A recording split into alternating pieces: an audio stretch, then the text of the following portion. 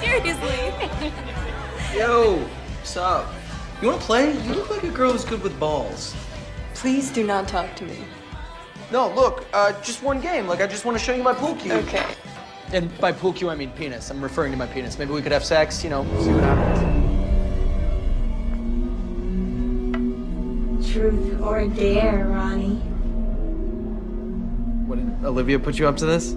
Truth or dare? Uh, creepy and sexy. Let's do it. Dare.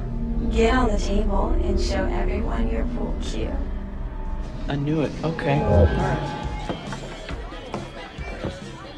Hello, friends and neighbors. This fine young lady here has asked me to play a little game of truth or dare with her, and like a real gentleman, I chose dare. Go, Ronnie! Woo! Anyway, now I will do you all the honor of showing you my business.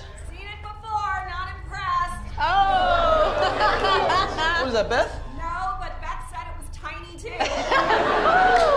No, oh, Beth would never say that. Okay, you know what? Screw this. I'm not. Oh,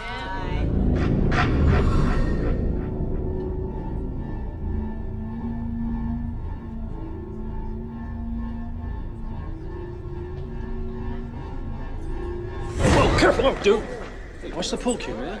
Thank you. Yeah.